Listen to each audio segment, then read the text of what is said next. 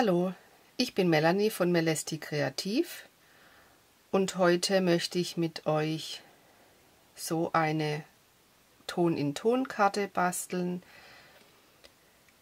Das war in diesem Monat in dem Team, in dem ich bin, das Thema der Team Challenge und ich dachte mir, ich mache jetzt einfach auch noch ein Video dazu.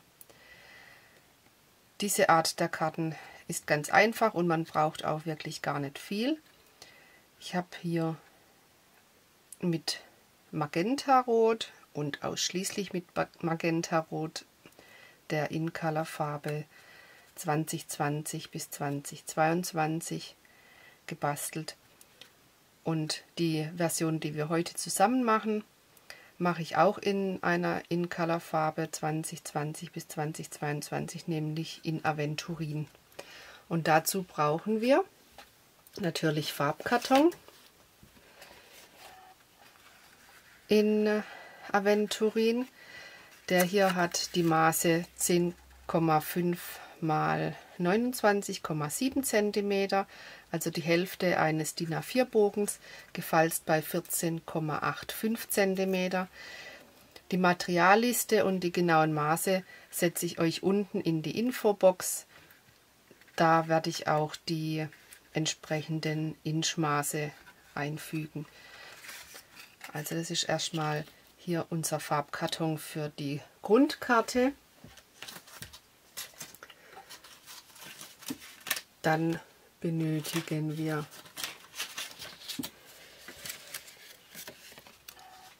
nochmal ein Stück Farbkarton in Aventurin in den Maßen 10,0 cm mal 14,35 cm.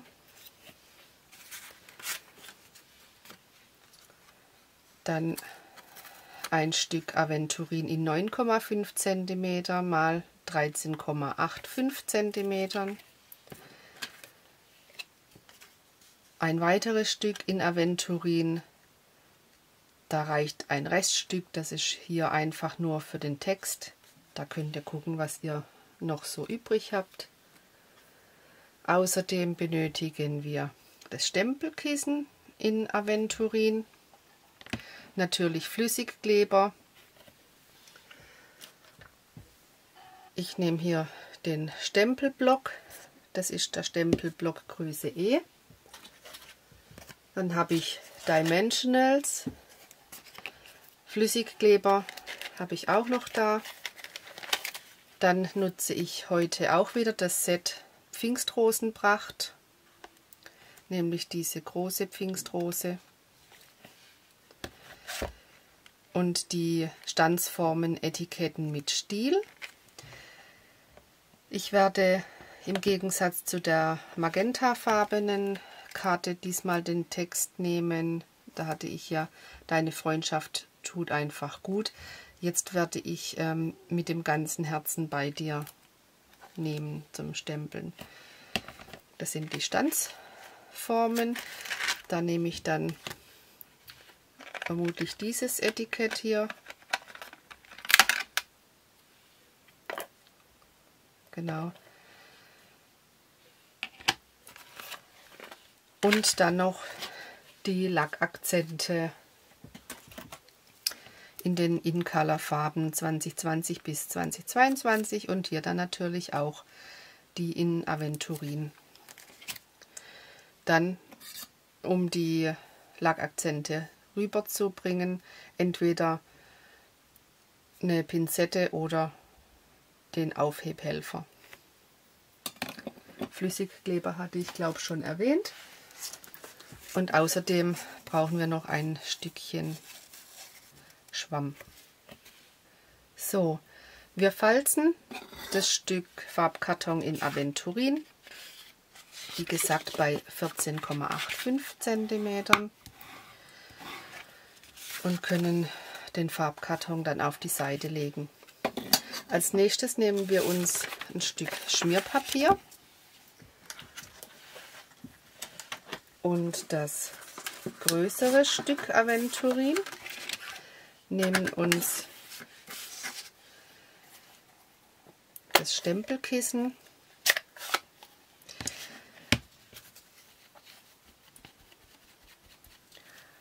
Und machen uns jetzt einfach den Rand hier farbig.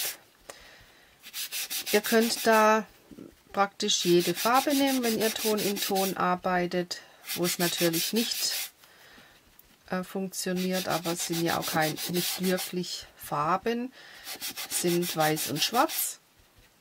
Aber ansonsten dürfte es bei jeder Farbe funktionieren.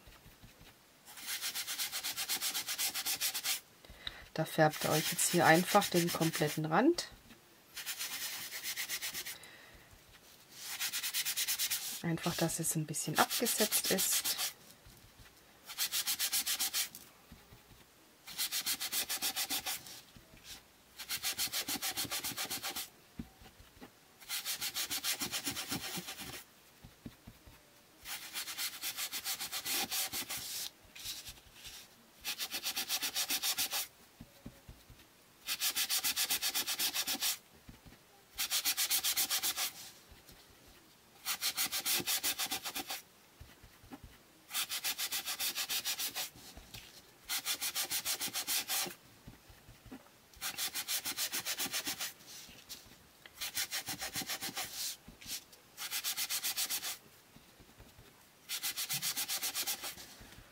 So, das dauert jetzt natürlich. Aber gleich haben wir es geschafft. Da könnt ihr natürlich auch unsere neuen Pinsel nehmen. Ich wollte es jetzt aber ziemlich kräftig haben und, und relativ schnell durch sein. Deshalb habe ich jetzt so ein Stück Schwamm genommen. So, das kann man jetzt erstmal ein Stück auf die Seite legen und nehmen uns jetzt das andere Stück Aventurin noch her.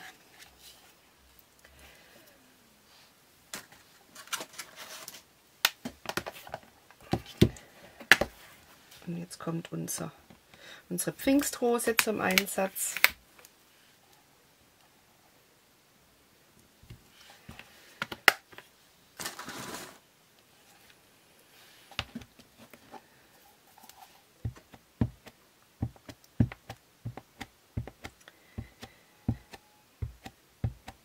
Und die nehme ich jetzt einfach auch in Aventurin.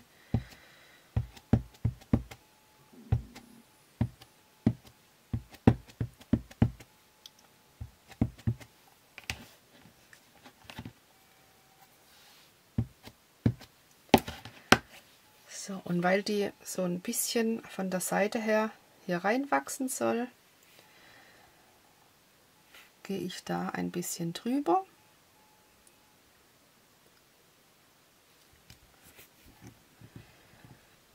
Und stempel jetzt einfach die Pfingstrose ab.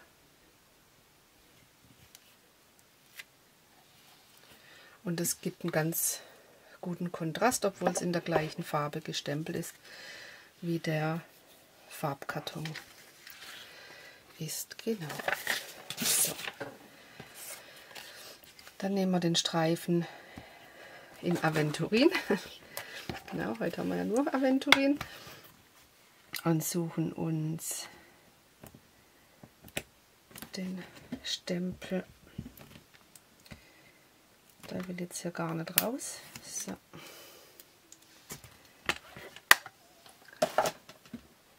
Mit ganzem Herzen bei dir.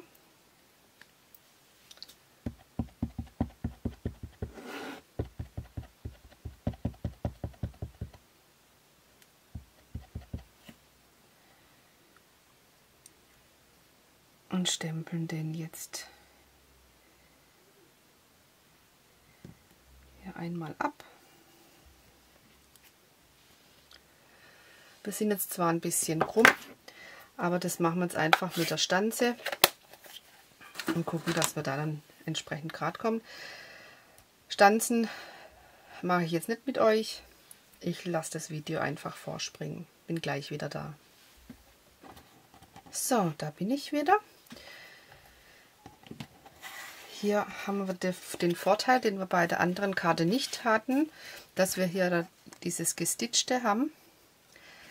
Das heißt, wenn wir das hier so, so auflegen, fällt es schon auf, dass das ein extra Element ist. bei der Karte war ich das ja nur so leicht geprägt. Deshalb habe ich das einfach ähm, so ins Stempelkissen ganz leicht reingestippt sozusagen und den Rand damit geinkt. Das würde ich jetzt bei der Karte einfach weglassen, weil eben der, der Rand gestitcht ist, sonst sieht man das gar nicht mehr. Und dann können wir uns die, die Teile schon zusammenbauen. Dann nehme ich hier den Flüssigkleber. Und ich habe hier auch ganz bewusst nicht in 3D gearbeitet.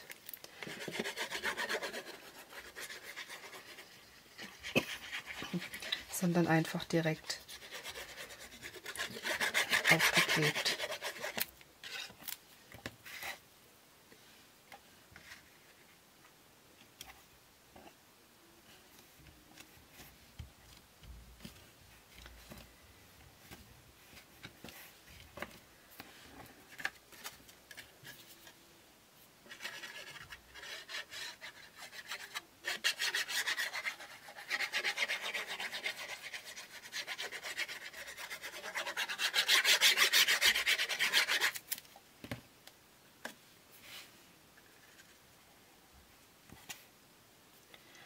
Und durch das Geinkte, ihr seht, habt ihr hier praktisch einen Rahmen, der aussieht, als wäre das in einer ganz anderen, in einem ganz anderen Farbkarton. Dabei haben wir den gleichen Farbkarton und einfach nur mit dem Stempelkissen das eingefärbt. So.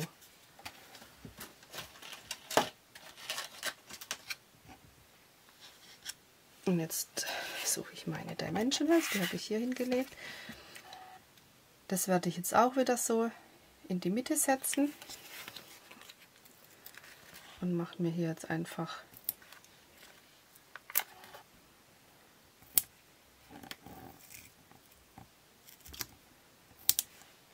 vier Dimensionals drauf.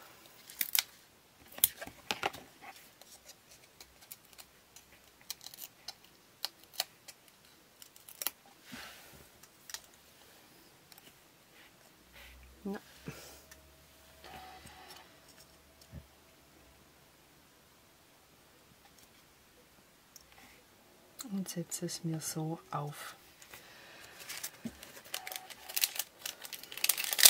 Und zum Abschluss noch die Lackakzente. Da könnt ihr einfach gucken, wie ihr die verteilen möchtet. Ich nehme mir meistens drei Stück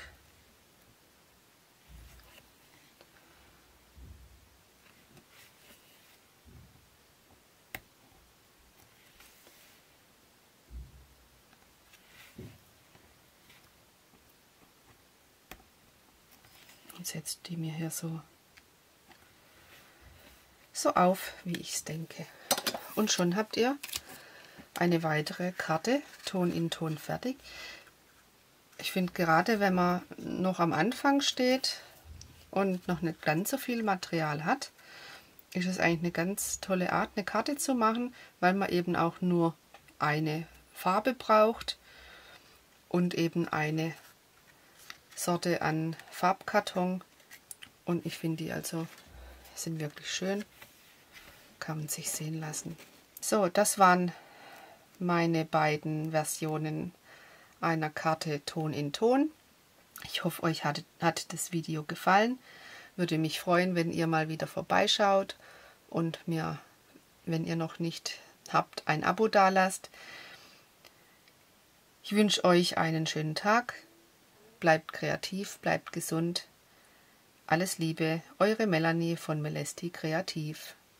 Tschüss.